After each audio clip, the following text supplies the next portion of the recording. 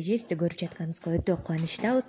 Анда эмесе сизге суроо ушул мобилдик кинофестиваль кыргызстандагы кыздарга кандай мүмкүнчүлүктөрдү түз берди деги эле кандай келечекте мүмкүнчүлүктөр бар ошол тууралуу өзүңүздүн ой пикириңизди айта кетсеңиз чоң рахмат менин атым канекей биз ушу кинону тартууда э, эң жакшы мүмкүнчүлүктөр түзүлдү. Анткени кыз э, э, чоңойгондо кандай болуш керек кандай адам болуш керек ушу энеден алган таалим тарбиясы жөнүндө болду да. Биздечи бизде ошо кызыбыз мугалим болгусу келип энеси мыкты мугалим болчу ошо мыкты мугалим болом деп ошол кинону тартышты да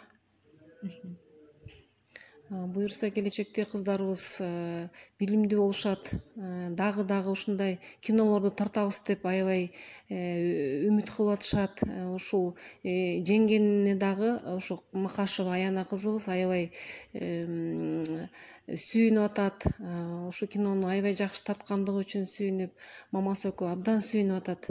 Буюрса дагы тартабыз деп атат. Кийинки кинофестивалга дагы биз катышабыз чоң рахмат сиздерди дагы э, жеңүүчү үчүн куттуктайбыз. Бул сиздин окуучу кызыңыз десек болот анда эмесе сиздерге дагы алдыда албан албан ийгиликтерди кааламакчыбыз. Рахмат. Чоң рахмат